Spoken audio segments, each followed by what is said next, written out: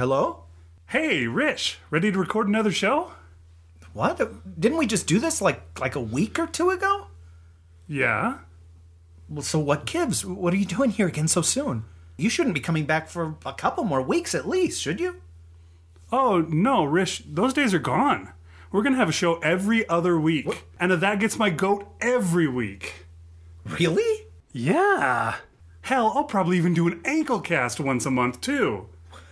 What? I- Hey, can can you help me so I can finally get the Rish Outcast going too? Oh, let's not get too crazy. Uh, okay. Aw, who am I kidding? Yes, I'll help you. We're gonna do it all, sir. Wow, I I can't believe it. Big's finally excited about the show again. I've waited so long for this day. The computer is on, the mics are out. Announcer man's not whining about his gout. Who knew Big's baby could sleep more than an hour? For a year we've done one show a month. Let me tell you, dude, that is no fun. It's all plugged in, Big's turning on the power. We'll be sharing another story. Announcer man will probably scream. No it's a great time to be on the Dunesteef team. Cause for the first time in forever, and they'll be laughing, there'll be fun. For the first time in forever, there'll be two episodes in a month. Don't know if I'm elated or gassy. Well, I guess that answers that. Cause for the first time in forever. Dude, come on. Oh, I'm, I'm, hey, I'm sorry, man. I, I ate a chili dog at Durham Wiener Schnitzel, and it's apparently not done with me yet. Oh, man. That's freaking awful. What? It's not like you don't fart when we're recording all the time, too. Now I remember why we only do this once a month. The smell never bothered me anyway.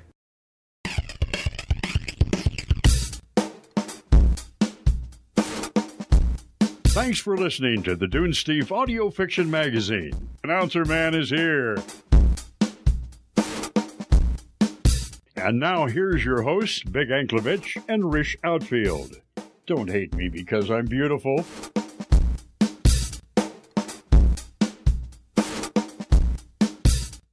Time.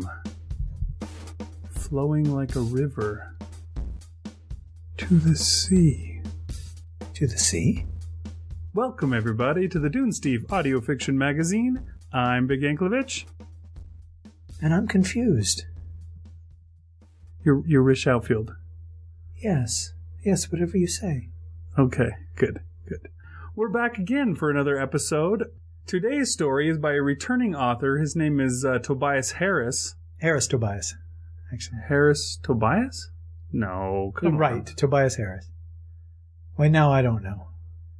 Part of his name is Harris, and the other part is Tobias. One of his names is Harris, and his uh, one of his other. Okay, Yes. Harris Harris Tobias is our, our returning author. Uh, you may remember him from such instructional films as. No, he did episode 113 for us, which was The Troop, and episode 93, which was The Alarm.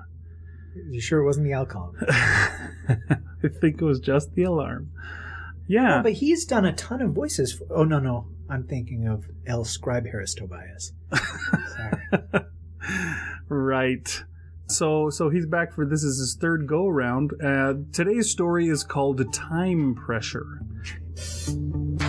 and uh, it's a good one. Yeah, we have such a vast voice cast on this one that we probably should get right to the story. Yeah, we can go ahead and do that. Um, And now, a word about the author. oh, thank you, announcer man. Hey, oh, announcer man is here with us. I, I, I, I forgot. Yeah, well, he did introduce us at the start of the episode. You might have remembered that, but you were already so confused that I guess it's not surprising. Yeah, the the Pink Floyd thing derailed all. it, it put everything that was in my head out of my head. ah. It was nice though. Yes, because usually what's in your head deserves to be out of anyone's head. Harris Tobias lives. Tobias Harris. See, even he gets it wrong sometimes. Even he gets wow, he mixes his names up backwards. Okay. Harris Tobias lives and writes in Charlottesville, Virginia. He is the author of two detective novels, The Greer Agency and A Felony of Birds. You know what my favorite Felony of Birds song is? It's uh, You're Gonna Think I Ran So Far Away, but it's actually Space Age Love Song. Oh, okay, well, good. He is also the author of several short story collections and a number of children's books, including At the Robot Zoo, Moon Rivet Saves His Skin, and an alphabet book of bugs. All of his books are available in print and as ebooks. You can find his fiction at the link that's in the show notes. Cool. The story you're about to hear, Time Pressure, was first published by the online sci fi magazine Quantum Muse. It is currently part of a collection of 15 time travel stories published under the name Chronon, a particle of time. Available in print and as an ebook and an audiobook. Really? So somebody has already done an audio version of this story. Sort of. In a way. What do you mean? I don't know what I mean. What do you mean? What? The Pink Floyd thing made me confused. Ah, okay, that's all right. um, we don't need no education, really. That's right. Let's uh, go on with the story. Ah, yes, that's probably a good idea. On with the show.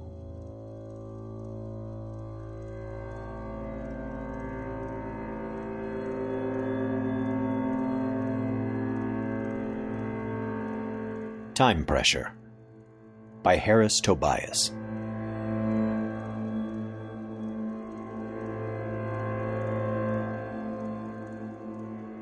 The scene in front of my visor is dark and murky, like seeing the world through maple syrup, sort of brown and thick. Moving is slow and plodding. I feel like a deep sea diver at a dangerous depth. The pressure of time above me threatens to squeeze me into jelly. My name is Jay Cramp. I'm a chrononaut, and I'm on a mission. Time is thick, thick as soup, and the deeper you travel into the past, the heavier and denser it becomes. It has to do with the physics of time. Something scientists have been getting wrong for generations. Until now. Now we finally understand that time is particulate in nature. A flowing stream of chronons surround and engulf every instant of reality. A single month's worth of chronons can barely be weighed with any instrument. A year's worth registers faintly on our most sensitive scales. Five years down, the pressure accumulates to several atmospheres. It's a logarithmic scale like the one they use for earthquakes. At the depth I'm at now, 46.22 years, it's like being at the bottom of the Pacific. Time is dense, dangerous, and the going is slow. We used to think that time was like a river. How naive we were. Time isn't like that at all. It's like sediment. I wear armor. You wouldn't last a nanosecond in the past without a chronosuit. The stresses on frail biology are immense, too severe to survive without protection. The past is as inhospitable as outer space. The weight of it wants to crush you like an egg. Special equipment is needed, and even then, it's difficult. The past is not a friendly place. I've trained hard for this assignment. I'm in excellent shape, tough both physically and mentally. The Corps only sends the best on these missions. With this insertion, I have surpassed the previous record. The Chinese tagged us September 23, 2005, in our embassy in Beijing.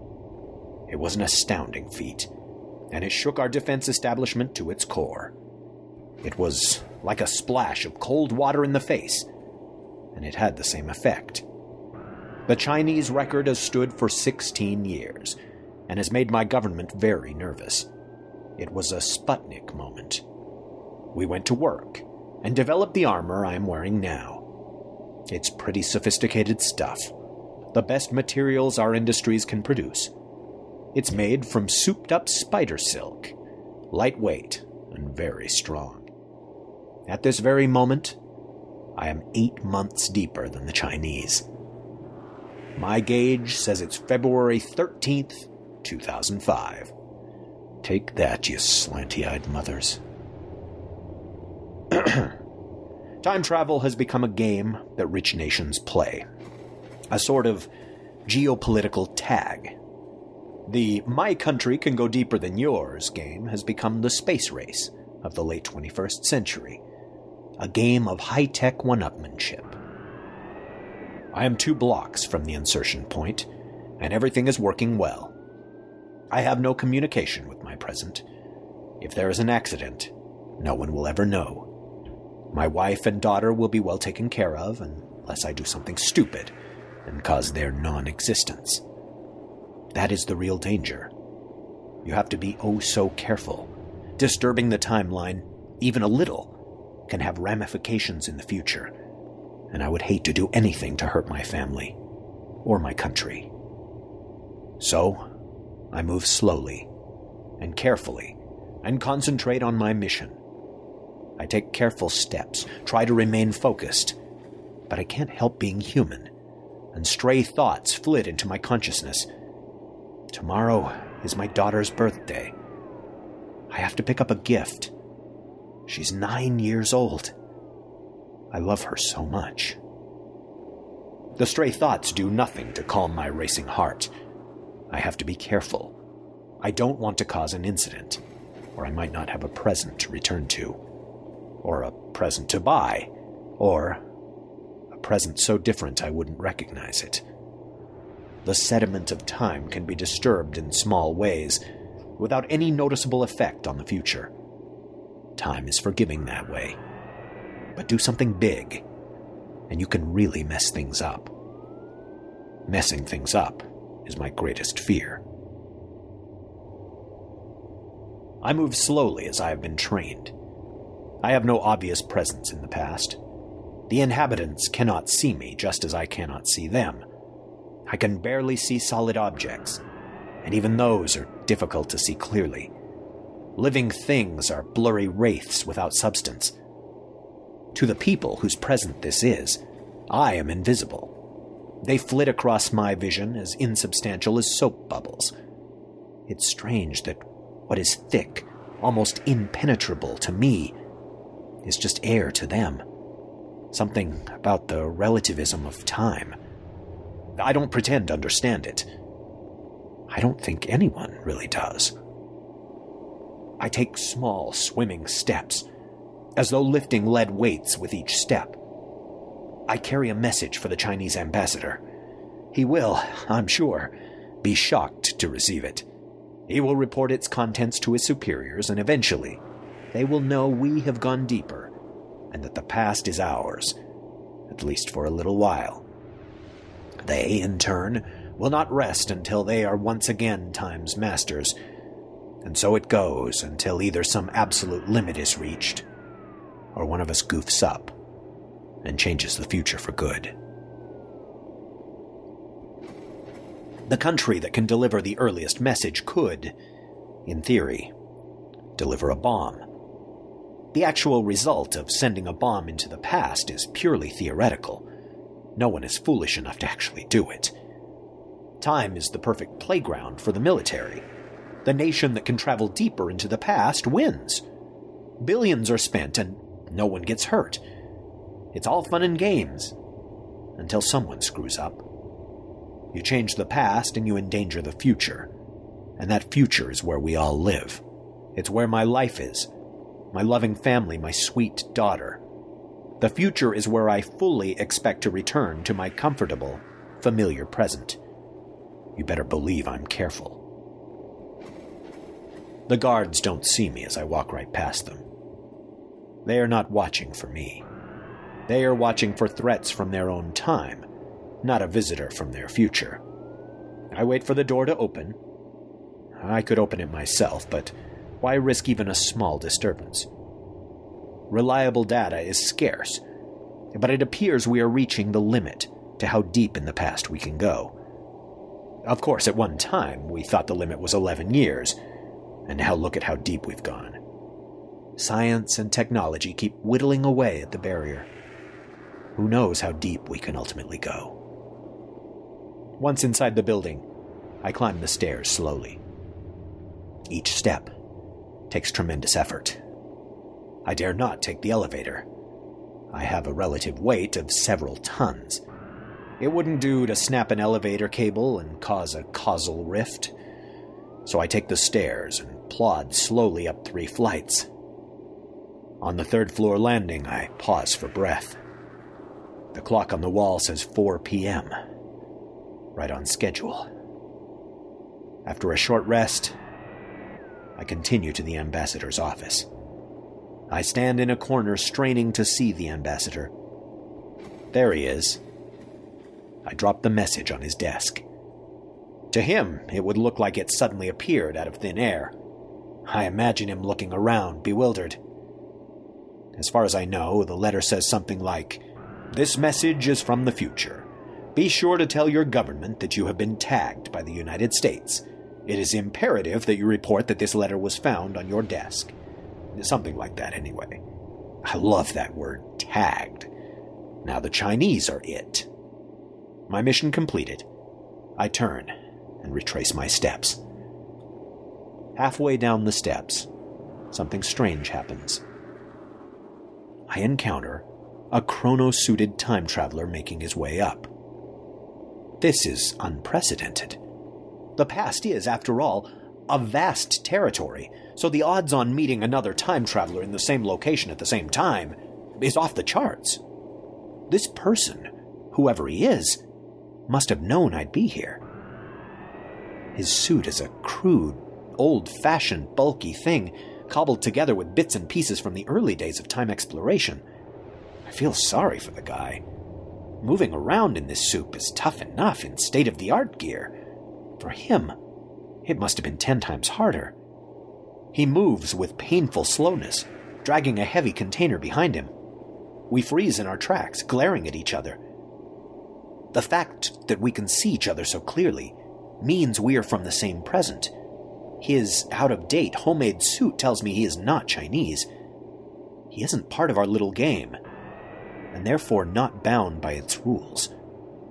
The fact that he picked this particular time and place to appear means he is most likely up to no good.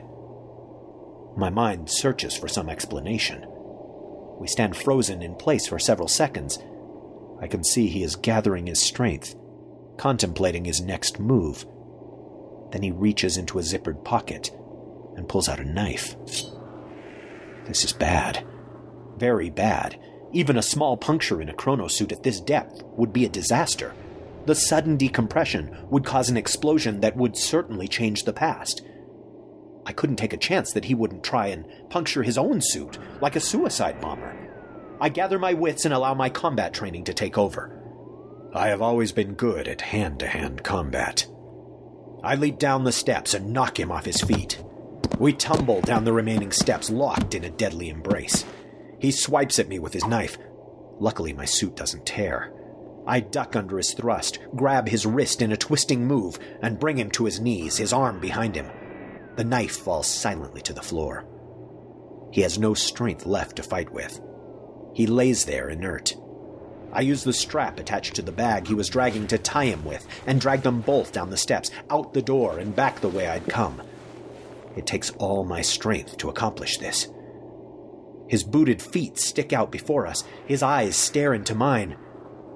What I see staring back are the eyes of a fanatic. I drag him back to my insertion point and wait for the extraction chamber to materialize. I look through the fanatic's bag and see. and see it is filled with enough explosives to have brought down the whole embassy.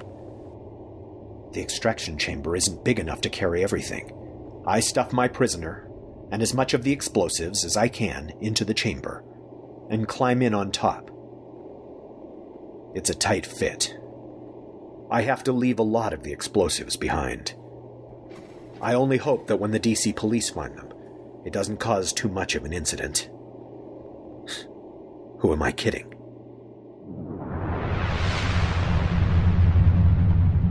The overloaded chamber rises slowly and carries us forward in time like an elevator rising from the depths, lifting us back to the present. When we arrive, I am relieved to find things pretty much the same as I left it. I say pretty much because there are a few small changes that catch my attention. I notice, for example, that my boss, Major Gerard, has a mustache where before he had none. My prisoner is taken away in handcuffs. I find out later that he belonged to a militant ethnic group desperate for independence. He meant to blow up the past and let the pieces fall where they may. His bomb would have been blamed on the U.S. The repercussions for the world would not have been pretty. Major Gerard puts me in for a medal for capturing the terrorist and saving the world. After several days of debriefing, I am allowed to go home. I have to hunt for my car in the parking lot. The white car I drove to the base is now a dark blue. Luckily, I remember my daughter's birthday. I stop at a store and buy flowers and candy for Gladys, and an expensive doll for Mary. The credit card I use to pay for the purchase looks strangely different than the one I was used to. I am not alarmed. These changes are so minor I can easily live with them. I am just so happy to be home safe and sound, and in my familiar present. I pull into my driveway, and a dog I had never seen before barks at me. The house is different in a dozen small ways shape, size, landscaping. I'm just getting my head around that when the front door opens, and a woman I don't recognize flies into my arms and tells me how glad she is I'm home. She is followed by a six year old boy who runs into my arms. Bewildered, I hand them my gifts. My son looks askance at the doll. I make a joke about it and try to make the best of an embarrassing situation.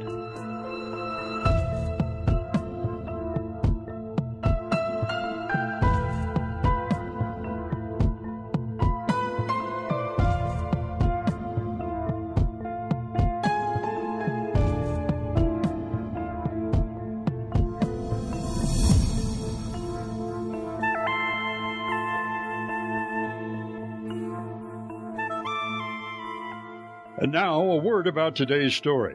My name is Harris Tobias, and I am a science fiction story writer. I love to write about time travel. It's a real challenge to an author to say something new about it. Uh, it's such a tired and well traveled theme in science fiction that to come up with a new idea and be original is quite a challenge. For some time, I'd been toying with the idea that time might be uh, like a particle, a subatomic particle, something like an electron or a neutrino. And if that was so, if it was particulate in nature, then perhaps the past it, lies buried under layers of these particles, like sediment on the bottom of the sea. I call these particles chronons. And the further back one went into the past, the, the denser and, and heavier these layers of time became. I, I saw time travel comparable to deep sea diving. The story followed from this premise that time travelers were plodding along in slow motion, being careful and not to interfere too much with the past. And it became a generally useless pursuit uh, among rich nations, like a geopolitical tag game. And uh, I was describing that, and the fight with the temporal terrorist came into my head, and the whole new level of tension came into the story and their disturbance of the past led to this curious ending where the, the present was changed in subtle, unpredictable ways. So that was how time pressure was born, but the whole theme of time travel uh, is still very much uh, alive with me, and I hope you enjoyed it. Thank you very much.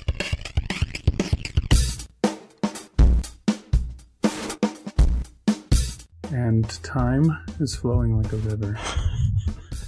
All right, everybody, welcome back. Hope you enjoyed the story. You know, this was the second Harris Tobias story that was all one- Harris Tobias joint. Sorry, I interrupted. pass me the duchy on the left hand side, would you? The left hand side? Okay, uh, there you go. No, no, the other one, the troop, was just one narrate, one reader, and no other characters spoke or any of that stuff. It- I think the uh, aliens did go like a couple times, though. oh, okay. In that one, anyways. Well, were were there any noises in this one? I don't. Well, maybe there was noises when he fought the terrorists, but there wasn't like speaking. There was just. Maybe we can port over the the noises from the troop and use there you go. one. Now, uh, correct me if I'm wrong. This is the shortest turnaround we've ever had on a, a Dunesteef, right? Probably. Although, if we really went down to it, I'd say maybe not. Oh, like the very first. Few if you want to go back to our first few episodes, we had some quick turnarounds in those days. But probably the shortest turnaround in the last three to four years. Yeah, because when we first started up the podcast, if we got a submission, it was like, hey, we got a submission. And we would read it immediately because we would get one or two a week. So yeah, I can imagine the turnaround being much quicker in those days. But in this, in this case, Harris sent us this story. When did he send it, do you think? Uh, it says here he sent it Wednesday, May 15th, 2013. Okay, so he sent it in May. And I don't know when. When we We actually it. saw it, September 16th was when I forwarded it over to the other account so that I could read it. Okay, so you read it back in September. I read it and I liked the story. I don't know if you liked it, I did. but I felt like, wow, there, there could be so much more. I, I want to know more. I want to know more about this guy. I want to know what he feels being a chrononaut. I want to know how he responds when he goes back and things are, are changed. And so I emailed Harris and I said, uh, would you mind, you know, adding in a little bit more to this? And uh, he did it immediately. Like in the space of a week, we had the story again. Um, and then I didn't read it. I didn't read it for months. When does it say I finally? I'm guessing in December. It, w- it looks like probably around uh, Christmas you read it, and uh, finally decided that we were going to take it as Well, is. Right. Nicole had sent us an email saying, "Hey, did you guys read this? Uh, You know, you asked him to send a new version, and then he sent it. Do you want to tackle that, or should I read it?" Or and I was like, "Oh shoot, let me sit down and read it." And it's a short story, as you noticed, and so I was able to sit down and, and read it. And uh, I think the same day, I thought, "Ah, "I'll just record this thing," because it's just one character. In fact, I might have emailed you and said, "Do you want to do this?" And before you had responded, I had already recorded it myself. I don't know. Does that sound wrong? Uh, that could be the truth. I can't remember that either. I'm sorry.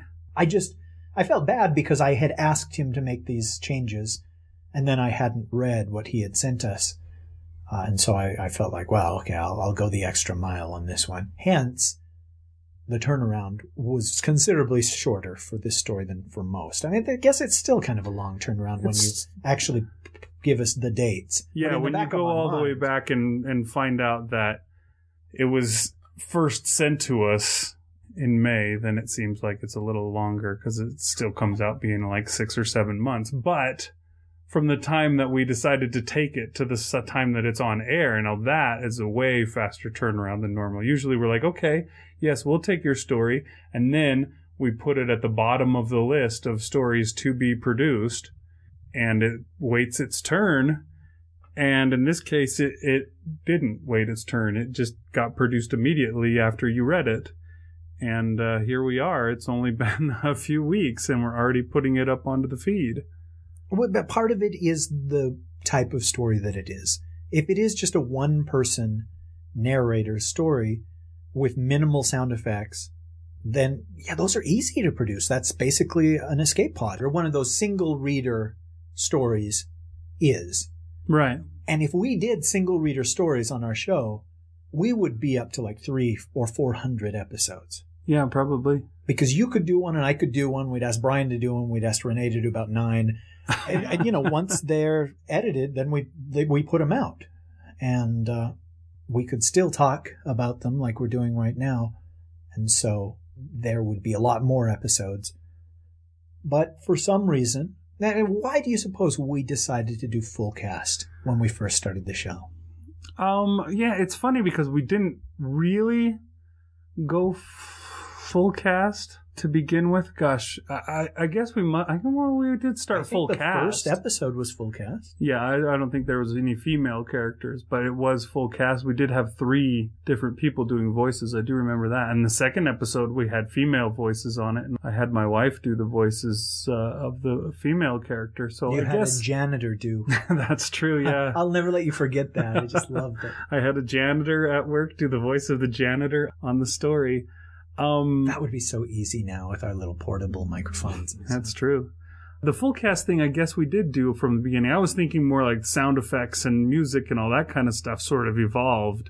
Uh, we started, I think, we put very minimal sound effects. I believe the first story had a gunshot and maybe a car engine when the car drives and goes really fast, but I think that was it. And then, yeah, they steadily kind of grew and grew until and I think that just evolves from the fact that both of us are film students. And so the more complete of a ambiance or whatever you want to say that we put in there, the more it feels like what we want it to be. Well, exactly. And, and, uh, and maybe the full cast is the same thing because, you know, hey, we want the females to sound like females and, and et cetera, et cetera, because we're basically movie makers deep down. That has made life way more difficult for us. Yes. And let's just if we make an had, executive decision and stop it now never again do that. I was going to say if we had the capability of uh, sifting through chronons and going back to 2008 when we first started the podcast, maybe we would advise ourselves, hey, don't do full cast stories. It's okay if you voice the women and children. But I don't know. We certainly wouldn't have met some of the great people that we've met. Definitely. Because we asked them, hey, would you do a voice on our show? I, I, have you ever heard somebody comment on how much they like or don't like the full cast aspect of our show? I think uh, a large amount of our audience stick with us because, or at least got hooked on us to begin with because of that, because of the interesting difference that that is to what you can find everywhere else. Because most other places, they don't do that. Do you know why? Because it's insane. Because it's hard. It's difficult. It's stupid. Some places will do a full cast version, you know, every now and then. I think Drabblecast will do it every month or two or a couple of months or something like that. And I, uh, I think even Podcastle was doing full casts for special episodes, like 200th episode or something like that. Okay. But, uh, yeah, nobody's dumb enough to try and do it every time, except for a very few really dumb people like us.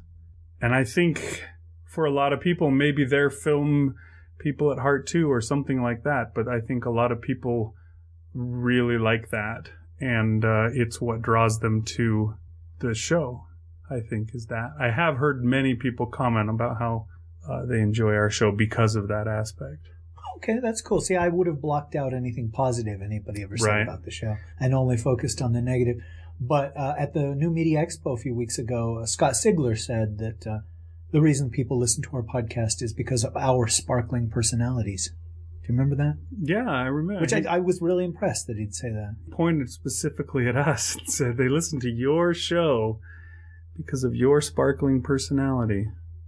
And then we realized he was actually talking about the guys sitting behind us.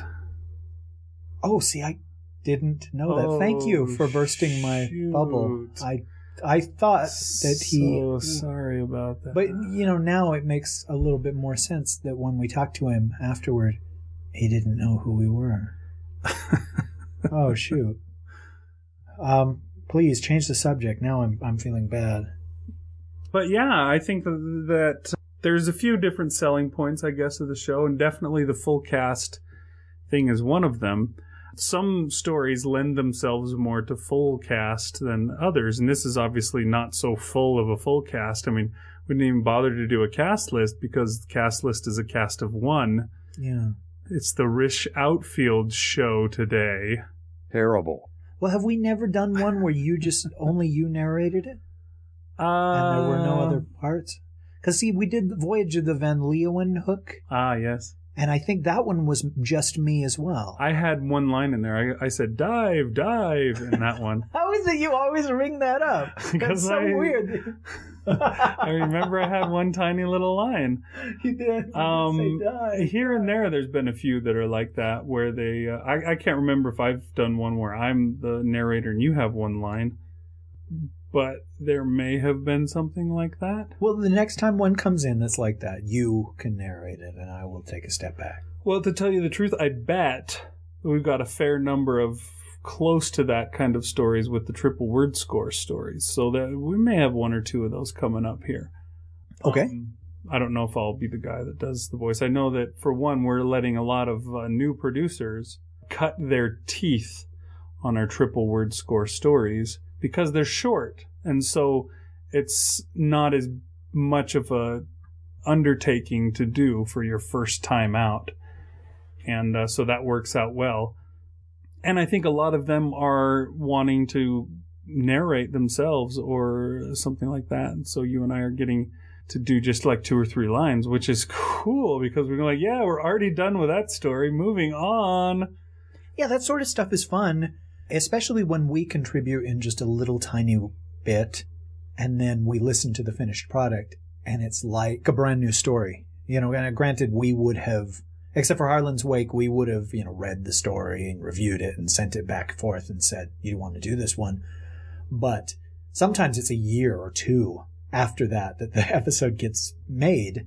We listen to the story and it's just like, wow, I didn't even remember. yeah, that our regular pace does cause that kind of thing to happen a fair amount because you know we're we're running slow, and yeah, by the time we finally get around to it, oh, yeah, I don't remember what happens, and you, yeah, you do that all the time. You're like, okay, so what's going on here? And I'm like, dude.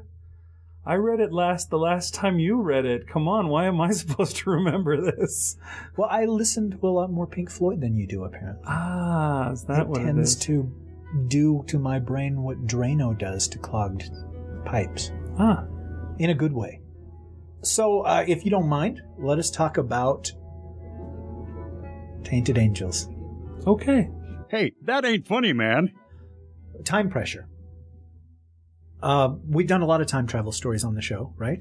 Yeah, we've done our fair share, I would say. We'll do uh, another one, I'm sure, before the year is through. If I can ever get off my butt and edit it. And uh, we explained before this is not a rerun. I love time travel. You love time travel stories. There's a, thousand different ways to do a time travel story. And this one, like Harris said in his own author's note, it's it's unique. It's not. It's almost a banal form of time travel. You know what I mean? There's no adventure. re- I, mean, I guess in this case there is, but you can tell with this character that it's something that has to be done very efficiently and maybe done the exact same way every single time. Very and carefully. You don't get to dick around in the past and buy some old baseball cards or any of that stuff. Yeah, you you- can't impregnate your own grandmother and become your own grandfather or something like And that. uh, well, look, you really shouldn't. Do Oh. that. it's just it's not it's not right. Yeah, I guess. There was that there's deleted scene in Back to the Future. Okay. Anyway, this is totally fine to do a, and I'm not saying that this story is boring in any way. It's just it, it's it's kind of like space travel around 1970, 71, 72. We'd gone to the moon, Eight times. now people didn't care. Yeah, it's like that bit on Apollo 13 where they're doing their broadcast live from orbit, or not, I guess not even in orbit. They're, you know, on their way to the moon and they, they do their broadcast and they find out that they got dropped by the network because it, the ratings were too low that they didn't even bother to show it. Yeah, at the we- very beginning, they're interviewing the astronauts, and uh, Tom Hanks tries to make it sound exciting, and he's like, "There's nothing routine about going to the moon, believe me." And everybody's like, yeah, well, yeah. It's Yeah. not. It's not. And and we've had a bunch of space conversations, you and me, and I, I do with my friend who sort of works with NASA sometimes about it. It's it's a shame that it's considered so boring. It's a shame that there's that it's not exciting like it was, you know, in the '60s when we had somebody we were competing against, when it was a race, when they would top us, and then we would top them, and then they would top us, and it was escalation but in a way it's like well obviously that's what's going on in this story with time travel but it was a almost friendly competition you know what i mean Mhm. the, the i think he uses a phrase in here where he talks about it you know it, it is a warfare but it's a bloodless warfare of one-upmanship rather than taking of lives and taking of, of ground and, and, and, and this battle and that you know skirmish Right. Yeah. If if uh, if China and the United States need to fight somehow, then you know this is a good way to do it. You have to. Oh, we're topping you now by going four months earlier than you went. Because yeah, nobody. Well, girls change into boys and stuff, but for the most part, nobody gets hurt. Uh, anyway, that that was an interesting aspect to it. But you've just brought up the more interesting aspect of the story. And someday, once we have a, a Wikipedia page of our own, uh, I will I will coin the phrase Ian's Law, Oh, which is a story always ends at the point in which you wish it to begin. And it, he's wrong. Most stories don't. Most stories have a beginning, middle, and end. And when they end, you're like, well, of course, that was the end. Happy day. They kissed. But every once in a while, you get to a story where the ending comes, and then you're like, oh, no, no, no, no, no, no, please don't end. That's that, that, that. And I think in this case, that's a perfect example of Ian's Law. Oh, the poor bastard loses his wife, and he loses his daughter. But he has a wife, and he has a kid. They're just strangers to him. And that is a happy ending and also a terribly unhappy ending.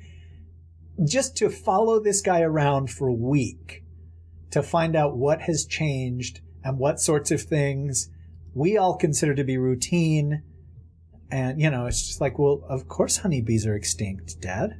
What, what do you mean? That's why we have almond nut Cheerios. And he's like, no, no, no, it should be honey nut Cheerios. It's like, we don't use that, the H word anymore, Dad. um, that kind of stuff is just fascinating to me. And I, I, I love the idea of timelines getting changed or, and things, ripples, ripples throughout the timeline is one of the best things about time, travel.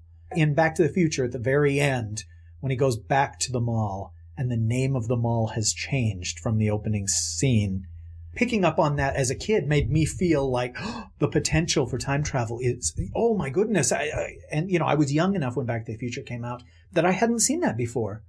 It's just like, now it's Lone Pine Mall and it was Twin Pine Mall before. Oh my gosh. That kind of stuff, you know? Yeah, it's, it's interesting. This could definitely have a sequel, Time Pressure 2, where you follow this guy around and see now what his life is like and how he deals with that. How he, I mean, he makes the best of an embarrassing situation, but yeah, you know, how do you deal with that? This woman he doesn't recognize that flies into his arms, is her name going to be Gladys? Or is it going to be something completely different? Well, here's the thing. How do you first find out?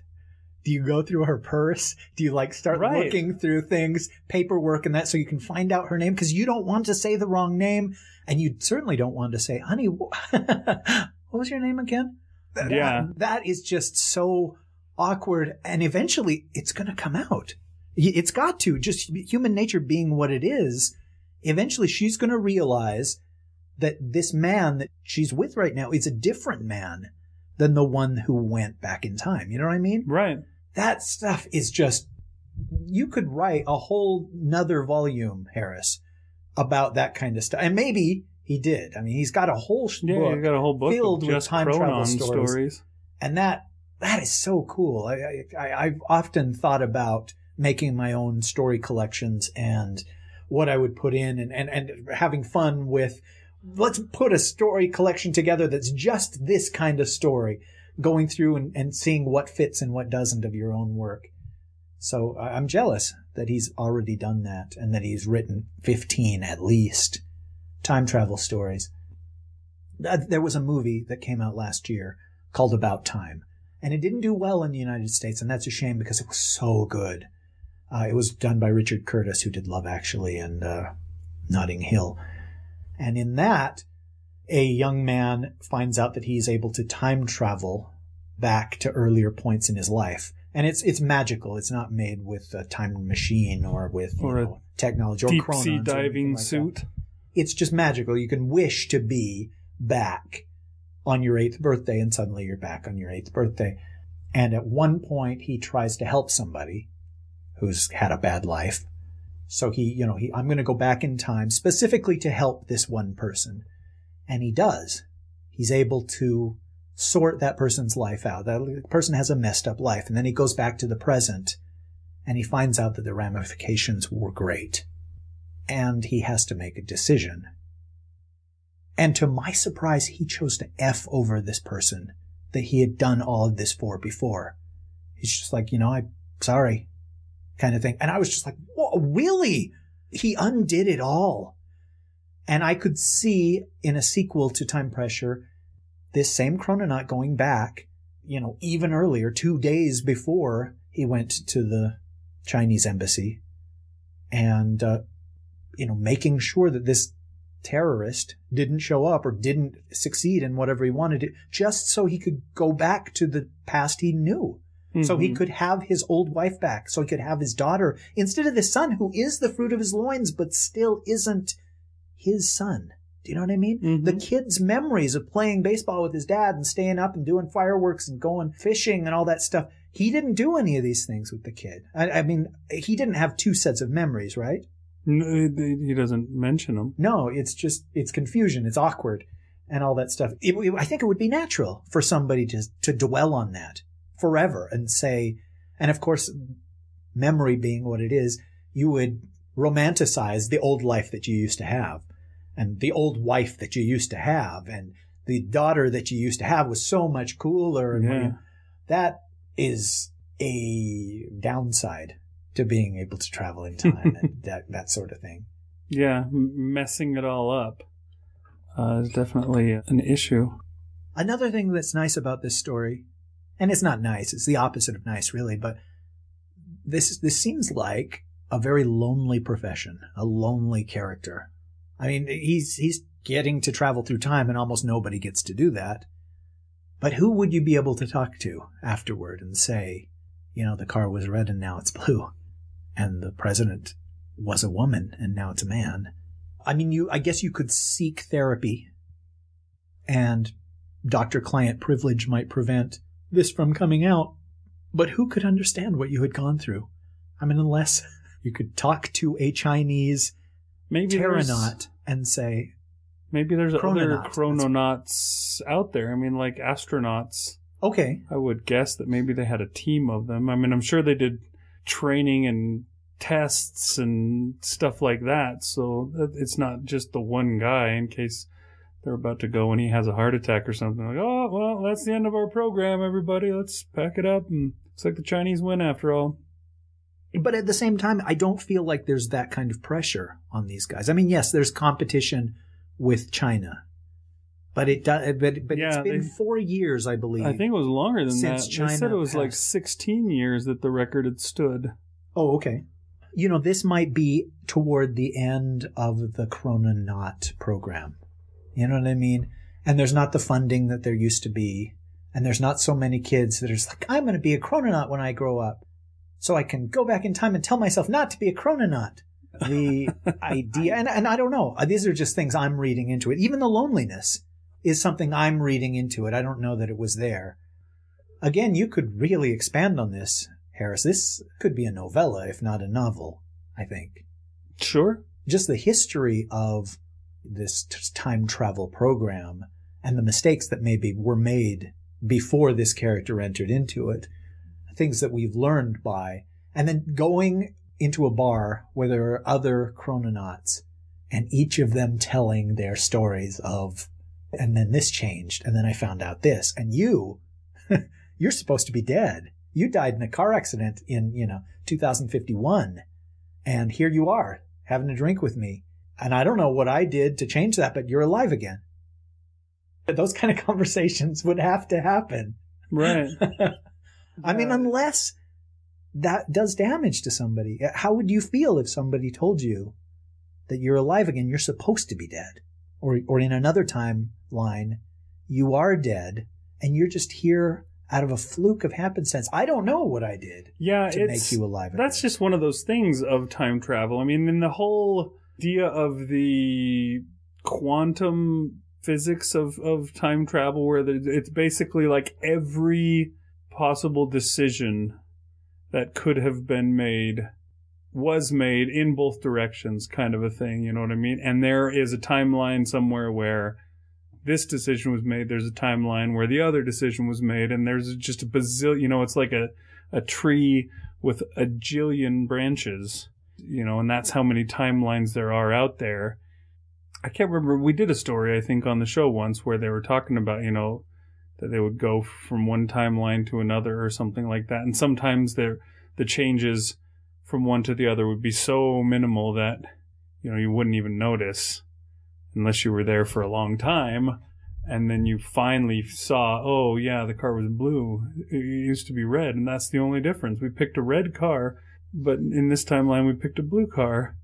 You know, and then there's the other ones where there'd be a more significant, you know, the difference could be some guy in China picked a red car, and so you would never know that that was the difference in the timeline. Uh, whereas, you know, it could be a much bigger difference. Like I married a different woman in this timeline, and I, I had a son because we had sex five minutes later. Yeah, you talked about that. That there's a, a, a million sperm, Right.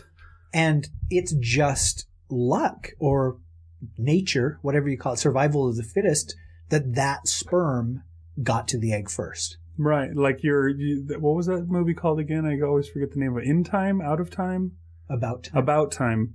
An About Time where he can go back and change things in the past. You know, if you go back to your eighth birthday, you see that that's that's an idea that I have for a story that I mean to write at some point as a guy who goes back just like that to an earlier point of his life, and then you know he, he does something differently. But even if if you went back to a different to a part of your life and you had the memories you have now, for one, you can't remember the things that you did every little minute of every day to try and live it exactly the same as you did before. It'd be 100% impossible. And so if you went back to a time before, say, your child was born, there's little to no chance that you would have the same child, you know, because you'd have to uh, copulate at exactly the same time and, you know, do exactly everything the same, which is impossible. And so most likely your child, even if it's still a girl, will be a shorter girl with lighter hair or, you know, whatever would happen. It would be something different. So you think that that's basically what happened to this character? I think so, yeah, something different. It's not that tiny little thing. because World War III almost happened in 1995, he was living in a different place, and the woman he would have married was not there when he first would have met her, and, and all that stuff. You know? Yeah, well, I think part of that too is that whole butterfly effect thing. You know, the, the butterfly's wings flapping here can cause a hurricane on the other side of the world because of the small changes eventually ripple, ripple, ripple and cause something much bigger. You know, it's that kind of a thing.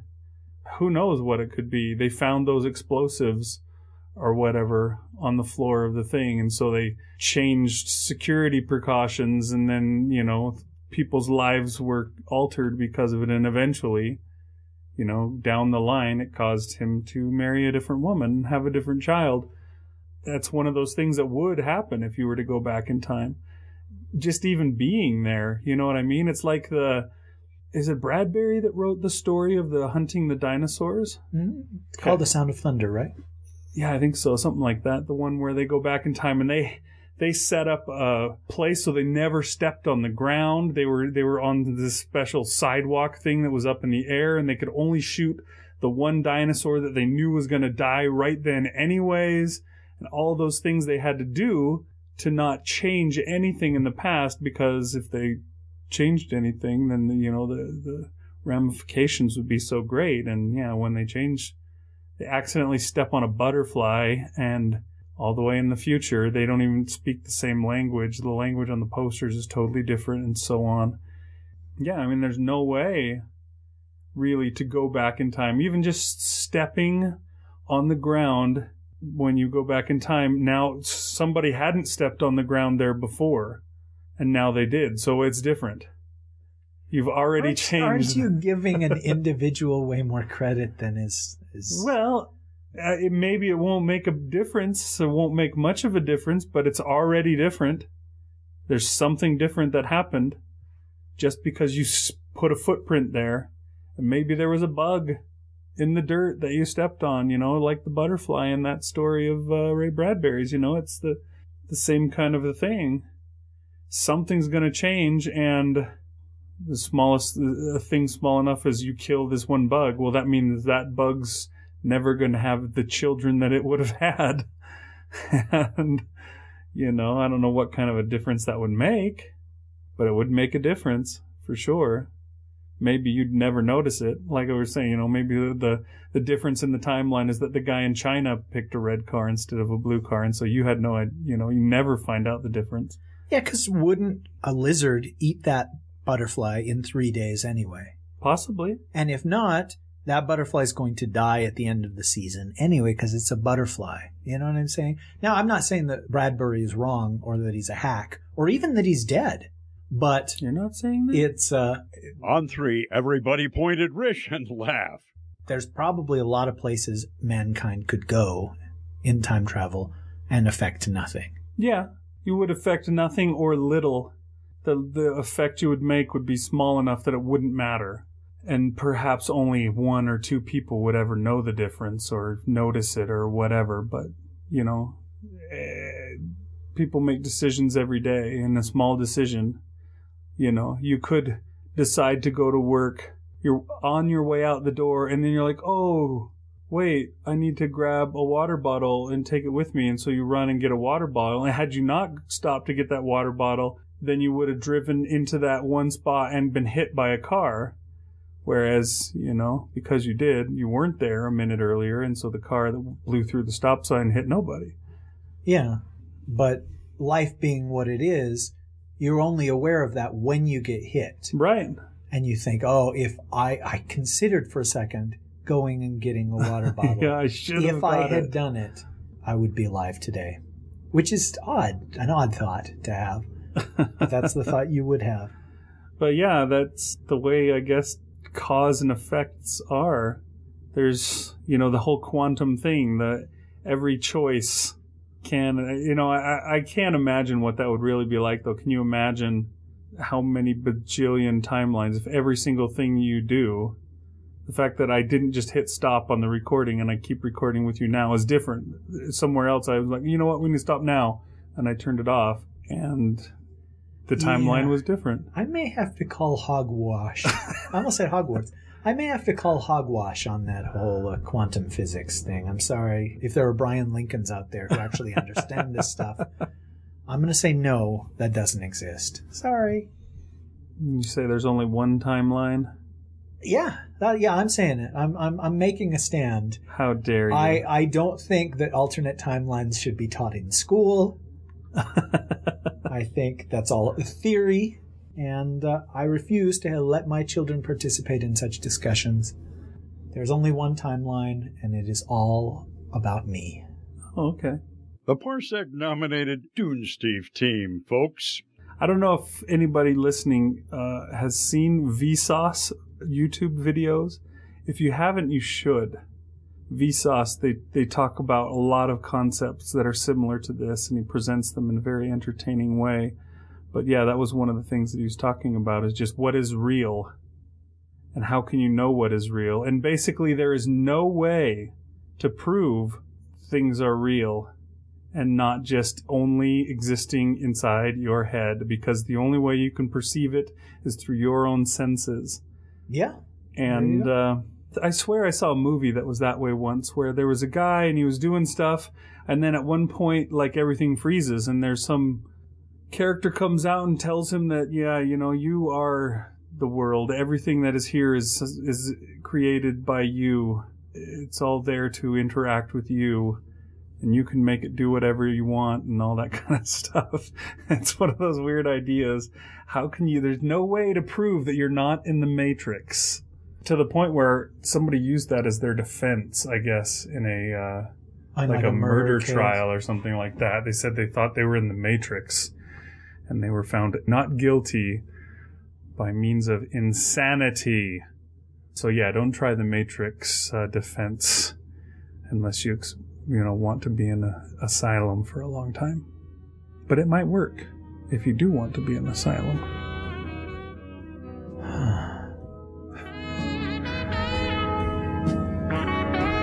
You have more to say? Fudge, no. Are we ready to call it a episode? I'm ready to fart again. Oh no. All right, uh, I think we've probably sort of talked this one to death. Uh, And yet, this is a subject where we could go on and on and on. We could give a bunch of different examples, and we could do a bunch of what ifs and come up with other ideas for stories that you would like to write and I would like to write. Everybody write a time travel story. This is your assignment for this week, kiddies. you and I both wrote a time travel story, like as a broken mirror exercise, uh-huh. where it had to end the same way. And that was really fun. We should do that again. That was before the Dunesteef, when we had time. Yeah, that was before the dark times, before the Empire. Okay, now, folks, uh, we're going to pause in the podcast just just for a minute, Mm-hmm. and for the very final time, we're going to ask Big Dunesteef. This word Dunesteef that we got our title from. Oh right. It just irritates the pee out of me to Ooh. not know what Dunesteef means. This word. Uh-huh. What, what, where does that come from? Uh, you know, I actually, he's a hero of mine. Uh, Donovan Hadley Dunesteef was the man that uh, I named the, the show after. Okay, and what is he famous for? Well, he was the first man to refer to Canada as the 51st state. Oh, That guy's been a hero of mine for decades. well, consider him a hero of mine as well. he changed my life. And that, folks, is the last time we will ever do that joke. Mark, mark your calendars, write in your blogs and journals. Hug your children a little tighter tonight. All right, folks. Thanks for listening. I'm Big Anklevich. And I'm Rish Outfield asking you to donate to the show. So that's another thing Scott Sigler told us. Was there anything else Scott Sigler told us that we should share with people before we go? Uh, Scott Sigler said we should measure our penis length and share that with the audience every uh, episode. Shoot, you're right. He did say that. But again, maybe he was looking at the guys behind us. Oh, he probably And, uh, was. I'm going to choose to believe that this time it was those guys he was looking at and not us. um, but he did also tell us to put out more episodes, and so we are trying. So there you go. There's more to come, therefore. Tune in next time for more Dunesteef. Thanks for listening, everyone. Good night. See you. The Dunesteef Audio Fiction Magazine is published under a Creative Commons Attribution, Non Commercial, No Derivatives license. You may share these files with anyone, but you may not charge for them or alter them.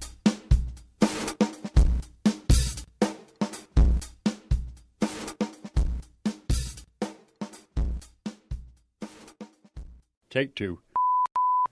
Time is flowing like a river to the sea. Don't know if I'm elated or gassy. Well, I guess that answers that. Cause for the first time in forever. I shat my pants. The computer is on, the mics are out. Announcer man's not whining. I'm, I'm too Wow, high. You're way higher than you were last. I went up a whole octave. Yes, you did. Because I was trying to match her. The computer is on, the mics are out. you're I'm still again. doing it all the way up there. No, uh, let me look real quick because he's a returning author, and so that should mean he's done other stories. I think we've done two of his stories before. And we still don't know his name? Yes, Tobias. Tobias. Tobias. Tobias. Toby. Oh no, he's done. Wait, why is his name on here? Maybe he's done voices too. The last words of Daniel Shupak by Eric William Bergmeyer. What does that got to do with Harris Tobias? Maybe he did a voice on it. Oh, Elscribe Harris Tobias. and Tobias Queen was in it. Ah, okay, so. oh, he did the Alcarm and the Troop. I thought he did.